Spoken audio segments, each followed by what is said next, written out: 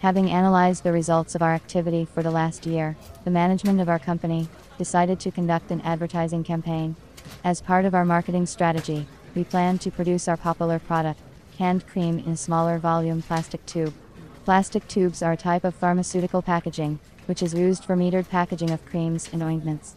Once sealed, it is a reliable container for the storage and use of cosmetic and medicinal products. The main criteria of my search were automated dosage of cream, in which the plastic consistency is dispensed into individual containers.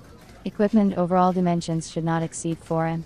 The machine was planned to be placed in the assembly shop, where now there is a permanent stationary equipment, which operates at full capacity. If the ointment becomes popular with customers, we wanted to organize a separate area for the equipment and increase the number of tubes produced with our product.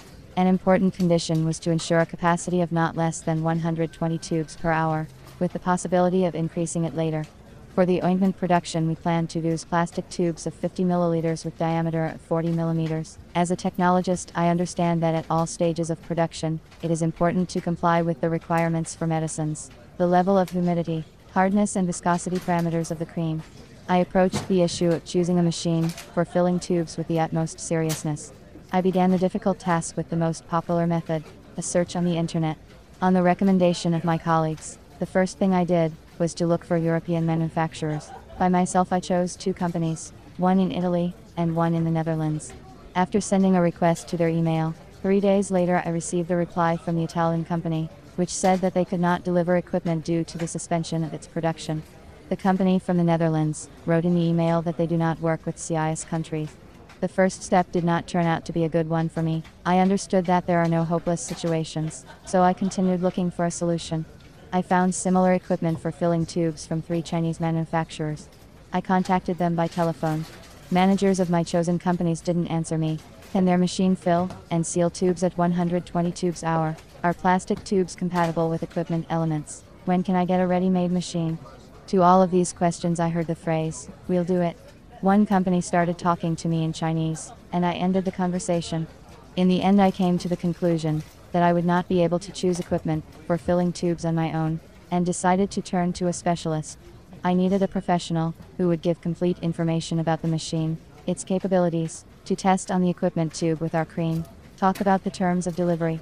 It was initially decided not to use Chinese intermediaries, because often manufacturers from China have their own direct representatives. I did not want to go through this stage all over again, so I decided to turn to Russian intermediaries for help.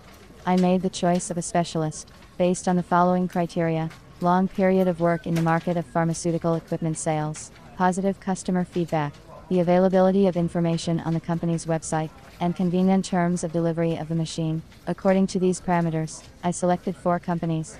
Having sent all my requests via an email, I still have not received a response from two of them. One company from Samara warned me that they do not have their own adjuster, and that all the equipment installation work must be done by myself. This option did not suit me. Only one manager from Moscow was able to quickly give me competent and constructive answers to my questions. I also liked the business-like approach of this specialist. The manager of this company was polite, asked a lot of clarifying questions about the characteristics of the cream, the required capacity of the equipment, what types of dosage are necessary. After a preliminary telephone consultation, the specialist suggested an automatic machine for filling, and sealing plastic tubes, the overall dimensions of which were 3, 5 cubic meters with the desired 4 cubic meters, with different types of dosage from 3 to 30 milliliters, from 6 to 60 milliliters and other options. I coordinated this option with the management of our company, and we signed a contract for the supply of an automatic machine for filling and sealing plastic tubes. I received an email report on the readiness of my order during the entire manufacturing period. The machine was delivered within the time specified in the contract. Our cream looked presentable in a new red and white tube. I was pleased with the plastic tube dispensing equipment supplied. Perhaps I would not have gotten such an excellent result in such a short time if I had gone the route of selecting the equipment myself. Experience has shown that the decision to seek professional help was the right one. It is better to devote time to your classes and your main occupation than to try to solve an uncharacteristic task on your own, lest you completely fail the task.